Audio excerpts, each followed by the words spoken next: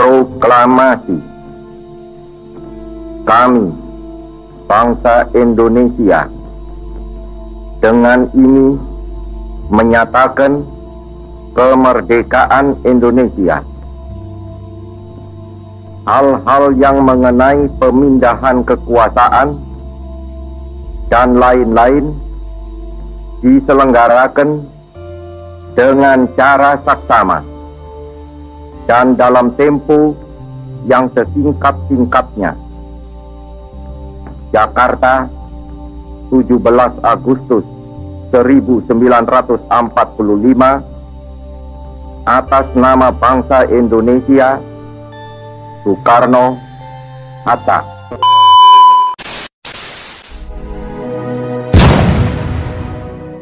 Assalamualaikum warahmatullahi wabarakatuh. Apa kabar kawan-kawan sekalian? Welcome back to Topan Asfi Channel. Hari kemerdekaan telah tiba. Segenap warga negara Indonesia dari kota-kota besar hingga pelosok desa merayakannya di hari ini. Berbagai kegiatan dilakukan demi mengisi hari yang sakral ini. Dari upacara, lomba-lomba, hingga tasyakuran. Tahukah kalian bahwa kemerdekaan yang diraih adalah hasil perjuangan dan kesabaran para pejuang yang telah gugur mendahului kita? Pada kesempatan kali ini, Topan Aswi akan mengajak kalian semua menelusuri perjalanan panjang pembacaan teks proklamasi yang menandai puncak kemerdekaan negara Indonesia yang dibacakan oleh duet proklamator Bapak Insinyur Soekarno dan Bapak Muhammad Hatta. Dan tahukah kalian bahwa pemuda seperti Sultan Syahrir, Wikana, Darwis, dan Khairul Saleh adalah para pemuda yang turut berjasa dengan mendesak para petinggi Indonesia membacakan teks proklamasinya. Sungguh para pemuda yang berdedikasi tinggi. Contoh seperti ini haruslah ditiru para pemuda zaman sekarang yang lebih banyak menghabiskan waktu di game online. Seperti apa penelusuran kita? Ayo sama-sama kita simak. Stay here. This is Topan Asfi Story.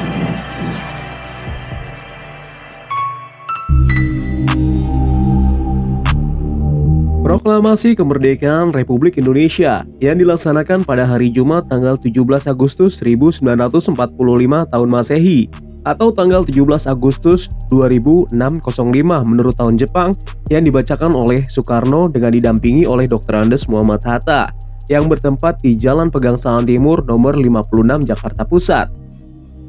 Kisah ini bermula pada tanggal 6 Agustus 1945 sebuah bom atom dijatuhkan di atas kota Hiroshima, Jepang oleh Amerika Serikat yang mulai menurunkan moral semangat tentara Jepang di seluruh dunia. Sehari kemudian, Badan Penyelidik Usaha Persiapan Kemerdekaan Indonesia BPUPKI atau Dokuritsu Junbi Chosakai berganti nama menjadi PPKI atau Panitia Persiapan Kemerdekaan Indonesia atau disebut juga Dokuritsu Junbi Inkai dalam bahasa Jepang untuk lebih menegaskan keinginan dan tujuan mencapai kemerdekaan Indonesia.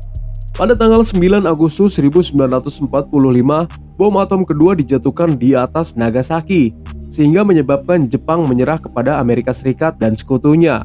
Momen ini pun dimanfaatkan oleh Indonesia untuk memproklamasikan kemerdekaannya. Soekarno, Hatta selaku pimpinan PPKI dan Rajiman Wijoyo sebagai mantan ketua BPUPKI diterbangkan ke Dalat 250 km di sebelah timur Laut Saigon, Vietnam untuk bertemu Marsekal Terauchi. Mereka dikabarkan bahwa pasukan Jepang sedang diambang kekalahan dan akan memberikan kemerdekaan kepada Indonesia. Sementara itu di Indonesia, pada tanggal 10 Agustus 1945, Sultan Syahrir telah mendengar berita lewat radio bahwa Jepang telah menyerah kepada sekutu. Para pejuang bawah tanah bersiap-siap memproklamasikan kemerdekaan RI dan menolak bentuk kemerdekaan yang diberikan sebagai hadiah dari Jepang. Pada tanggal 12 Agustus 1945, Jepang melalui Marsekal Terauchi di Dalat, Vietnam mengatakan kepada Soekarno, Hatta, dan Rajiman bahwa pemerintah Jepang akan segera memberikan kemerdekaan kepada Indonesia dan proklamasi kemerdekaan dapat dilaksanakan dalam beberapa hari berdasarkan tim PPKI. Meskipun demikian, Jepang menginginkan kemerdekaan Indonesia pada tanggal 24 Agustus bertepatan dengan hari ulang tahun Kaisar Jepang Hirohito. Dua hari kemudian saat Soekarno-Hatta dan Rajiman kembali ke tanah air dari Dalat, Sultan Syahrir mendesak agar Soekarno segera memproklamasikan kemerdekaan karena menganggap hasil pertemuan di Dalat sebagai tipu muslihat Jepang. Karena Jepang telah menyerah kepada sekutu, Dan demi menghindari perpecahan dalam kubu nasionalis antara yang anti dan pro Jepang, Hatta menceritakan kepada Syahrir tentang hasil pertemuan di Dalat. Soekarno belum yakin bahwa Jepang memang telah menyerah, dan proklamasi kemerdekaan RI saat itu dapat menimbulkan pertumpahan darah yang besar dan dapat berakibat fatal jika para pejuang Indonesia belum siap. Soekarno mengingatkan bahwa Sultan Syahrir tidak berhak memproklamasikan kemerdekaan, karena itu adalah hak panitia persiapan kemerdekaan Indonesia atau PPKI Sementara itu, Syahrir menganggap PPKI adalah badan buatan Jepang dan proklamasi kemerdekaan oleh PPKI hanya merupakan hadiah dari Jepang. Pada tanggal 14 Agustus 1945, Jepang secara resmi menyerah kepada sekutu di kapal USS Missouri. Tentara dan Angkatan Laut Jepang masih berkuasa di Indonesia karena Jepang berjanji akan mengembalikan kekuasaan di Indonesia ke tangan sekutu. Sultan Syahrir, Wikana, Darwis, dan Khairul Saleh mendengar kabar ini melalui radio BBC. Setelah mendengar desas-desus Jepang bakal bertekuk lutut, golongan muda mendesak golongan tua untuk segera memproklamasikan kemerdekaan Indonesia. Namun golongan tua tidak ingin terburu-buru. Mereka tidak menginginkan terjadinya pertumpahan darah pada saat proklamasi. Konsultasi pun dilakukan dalam bentuk rapat PPKI, Golongan muda tidak menyetujui rapat itu, mengingat PPKI adalah sebuah badan yang dibentuk oleh Jepang. Mereka menginginkan kemerdekaan atas usaha bangsa kita sendiri, bukan pemberian Jepang. Jadi singkatnya seperti ini guys. Soekarno, Hatta dengan yang lainnya kita sebut saja golongan tua. Dijanjikan kemerdekaan oleh Jepang karena pada waktu itu memang Indonesia sedang dijajah Jepang. Kata Jepang, kalian bentuklah itu BPUPKI untuk persiapan kemerdekaan kalian. Nanti kita hadiahkan kemerdekaan untuk kalian. Semangat dong golongan tua. Sementara di sisi lain, Sultan Syahrir dan yang lainnya kita sebut saja golongan muda. Telah mengetahui bahwa Jepang telah kalah dalam Perang Dunia Kedua dan menyerah tanpa syarat pada sekutu. Berarti Jepang tidak berhak lagi berkuasa atas Indonesia. Dan Indonesia harus segera memproklamasikan kemerdekaannya tanpa perintah dari Jepang lagi. Namun Soekarno tetap bersikeras menunggu instruksi Jepang. Akhirnya terjadi peristiwa penculikan Rengas Dengklok tanggal 16 Agustus 1945. Soekarno dan Hatta mendatangi penguasa militer Jepang atau Gunsei untuk memperoleh konfirmasi di kantornya di Koningsplein, Medan Merdeka. Tapi kantor tersebut kosong. Soekarno dan Hatta bersama Subarjo kemudian ke kantor Bukanfu Laksamada Muda Maeda di Jalan Merdeka Utara atau Rumah Maeda di Jalan Imam Bonjol 1. Maeda menyambut kedatangan mereka dengan ucapan selamat atas keberhasilan mereka di Dalat. Sambil menjawab, ia belum menerima konfirmasi serta masih menunggu instruksi dari Tokyo. Sebagai informasi tambahan ya guys, Laksamana Muda Tadashi Maeda adalah seorang perwira tinggi Angkatan Laut Kekaisaran Jepang di Hindia Belanda. Selama Jepang menduduki Indonesia, ia menjabat sebagai Kepala Penghubung Angkatan Laut dan Angkatan Darat Tentara Kekaisaran Jepang. Kendati demikian, Laksamana Maeda menjadi salah satu tokoh Jepang yang simpati terhadap perjuangan rakyat Indonesia dan bersedia membantu persiapan kemerdekaan Indonesia. Ia bahkan mempertaruhkan nasibnya dan mengizinkan kediamannya dijadikan tempat perumusan naskah proklamasi kemerdekaan Indonesia. Dasar pertimbangan pemilihan kediaman Laksamana Muda Maeda sebagai tempat penyusunan teks proklamasi adalah karena rumah tersebut mempunyai hak imunitas terhadap Angkatan Darat Jepang, sehingga akan tetap aman. Sepulang dari Maeda, Soekarno dan Hatta segera mempersiapkan pertemuan Panitia Persiapan Kemerdekaan Indonesia atau PPKI pada pukul 10 pagi 16 Agustus keesokan harinya di kantor Jalan Penjambon nomor 2 guna membicarakan segala sesuatu yang berhubungan dengan persiapan proklamasi kemerdekaan. Sehari kemudian, gejolak tekanan yang mengendaki pengambil alihan kekuasaan oleh Indonesia makin memuncak dilancarkan para pemuda dari beberapa golongan. Rapat PPKI pada tanggal 16 Agustus pukul 10 pagi tidak dilaksanakan karena Soekarno dan Hatta tidak muncul.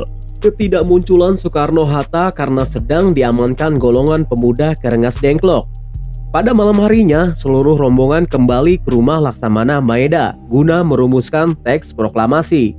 Pukul 4 waktu Indonesia Barat dini hari, Soekarno meminta persetujuan dan minta tanda tangan kepada semua yang hadir sebagai wakil-wakil bangsa Indonesia. Para pemuda menolak dengan alasan sebagian yang hadir banyak yang menjadi kolaborator Jepang. Soekarni mengusulkan agar teks proklamasi cukup ditandatangani dua orang tokoh yakni Soekarno dan Muhammad Hatta atas nama bangsa Indonesia. Usul Soekarni diterima dengan beberapa perubahan yang telah disetujui, maka konsep itu kemudian diserahkan kepada Sayuti Melik untuk diketik. Teks proklamasi yang hanya beberapa kalimat itu memiliki makna yang luar biasa dalam konteks jalinan kerjasama atau persatuan yang kokoh. Kata proklamasi, Andil Bung Karno, kalimat kami bangsa Indonesia dengan ini menyatakan kemerdekaan Indonesia, dinyatakan oleh Ahmad Subarjo. Kalimat hal-hal yang mengenai pemindahan kekuasaan dan lain-lain diselenggarakan dengan cara seksama dan dalam tempo yang sesingkat-singkatnya. Andil Bung Karno dan Bung Hatta. Kalimat atas nama bangsa Indonesia, Soekarno-Hatta, usulan Soekarni. Demikian pertemuan dini hari itu menghasilkan naskah proklamasi agar seluruh rakyat Indonesia mengetahuinya. Naskah itu harus disebarluaskan timbullah persoalan tentang bagaimana cara naskah tersebut disebarluaskan ke seluruh Indonesia. Soekarni mengusulkan agar naskah tersebut dibacakan di lapangan Ikada yang telah dipersiapkan bagi berkumpulnya masyarakat Jakarta untuk mendengar pembacaan naskah proklamasi. Tetapi Soekarno tidak setuju karena tempat itu adalah tempat umum yang dapat memancing bentrokan antara rakyat dengan militer Jepang. Beliau sendiri mengusulkan agar proklamasi dilakukan di rumahnya di Jalan Pegangsaan Timur nomor 56. Usul tersebut disetujui dan naskah proklamasi kemerdekaan Indonesia akan dibacakan bersama Hatta di tempat itu pada hari Jumat tanggal 17 Agustus 1945 pukul 10 waktu Indonesia Barat di tengah-tengah bulan Ramadan atau bulan puasa. Sebelum membacakannya di hadapan yang hadir, Soekarno berpidato dia menyatakan sengaja mengundang hadir ke tempat itu untuk menyaksikan sebuah peristiwa maha penting dalam sejarah Indonesia setelah berpuluh bahkan beratus tahun terjajah. Soekarno mengatakan Indonesia tak mungkin menyandarkan diri pada janji Jepang untuk memerdekakan Indonesia. Hanya bangsa yang berani mengambil nasib dalam tangannya sendiri akan dapat berdiri dengan kuatnya, katanya. Selanjutnya Soekarno membacakan naskah proklamasi hasil musyawarah dengan pemuka-pemuka rakyat Indonesia yang berasal dari seluruh Indonesia bahwa saatnya lah merdeka. Usai membacakannya Soekarno berkata kita sekarang telah merdeka. Tidak ada satu ikatan lagi yang mengikat tanah air kita dengan bangsa lain. Mulai saat ini kita menyusun negara kita, negara merdeka, negara Republik Indonesia, merdeka kekal dan abadi Tuhan memberkati kemerdekaan kita itu, tutur Soekarno. Demikianlah sekelumit kisah tentang perjalanan pembacaan teks proklamasi kemerdekaan Indonesia yang menjadi ujung tombak negara kita. Semoga dapat menambah wawasan kita semua dan kita dapat mengisi kemerdekaan ini dengan sebaik-baiknya. Terima kasih atas perhatiannya, mohon maaf atas segala kesalahan baik yang disengaja maupun yang tidak disengaja. Akhirul kalam, wassalamualaikum warahmatullahi wabarakatuh. Bye.